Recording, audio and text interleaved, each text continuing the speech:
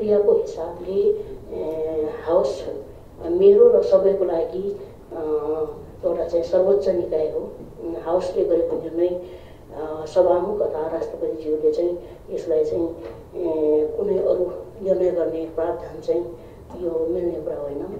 त्यसैले म के भन्न चाहन्छु भने हामीले जुन प्रक्रियाबाट यसलाई संशोधन गरेका छौँ यो गलतै कुरा परेको भए यसलाई फेरि त्यही माध्यमबाट हामीले संशोधन गर्न सक्छौँ।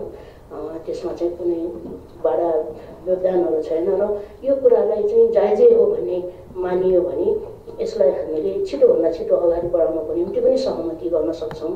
त्यसैले यहाँलाई मैले अनुरोध गर्न चाहन्छु हामीले हाम्रो विधि विधानले अर्थात् हाम्रो संविधानले हाम्रो नियमले दिएको प्रावधान बमोजिम तपाईँहरूले उठाउनु भएको प्रश्नहरूलाई राजनीतिक दलको समेत सहमति लिएर नेपाल सरकारले यसमा चाहिँ आफ्नो कदम चाल्नेछ र यो कुरामा यहाँले जसरी खटिरहनु भएको छ यो वातावरण बन्छ भन्ने कुरामा पनि म आशावादी छु। यहाँ